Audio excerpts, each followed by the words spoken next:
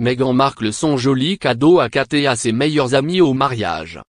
Jessica Mulroney, Benita Halit, Misha Nono, Priyanka Chopra, Abigail Spencer ou encore Serena Williams, tout auraient pu prétendre à être demoiselles d'honneur de leur amie commune, Meghan Markle, à l'occasion de son mariage avec le prince Harry, le 19 mai 2018 à Windsor.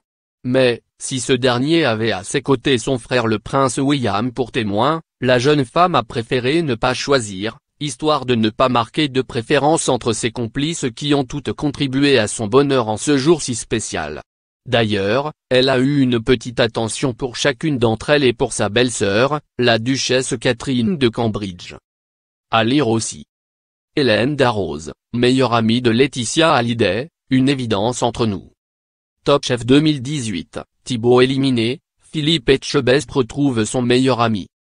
Olivier, Colanta All-Star, en deuil, l'une de ses meilleures amies est morte.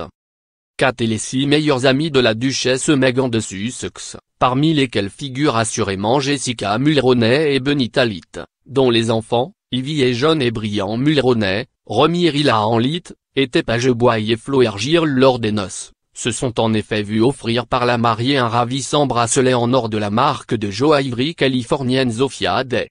Vendu au prix de 450 dollars, le modèle en question, qui se compose d'une fine chaîne et d'un petit disque en or, porte un nom tout à fait approprié, le bracelet. Kensington.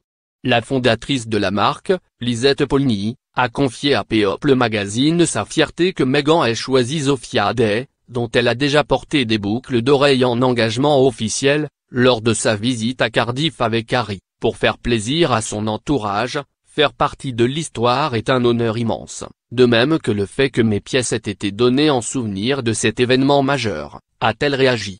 Quant au Kensington bracelet, qui avait apparemment été fait spécialement pour l'occasion et n'a été commercialisé pour le grand public qu'ultérieurement, elle souligne que son élégance simple correspond bien au style personnel de la duchesse. Zofia Dess est également vue commander par la mariée de colliers sur mesure pour Remir Ila Enlit, les deux fillettes de Benita Lit. Là encore, les modèles portent des noms idoines, Windsor pendant Néclas et Charlotte Bonnet classant. À noter par ailleurs que la duchesse Catherine portait lors du mariage une nouvelle bague à la main droite. Le magazine Hello a observé qu'elle était sertie d'une citrine, une pierre symbolisant une nouvelle vie, et émet l'hypothèse que ce puisse être un cadeau de William après la naissance de leur troisième enfant, le prince Louis.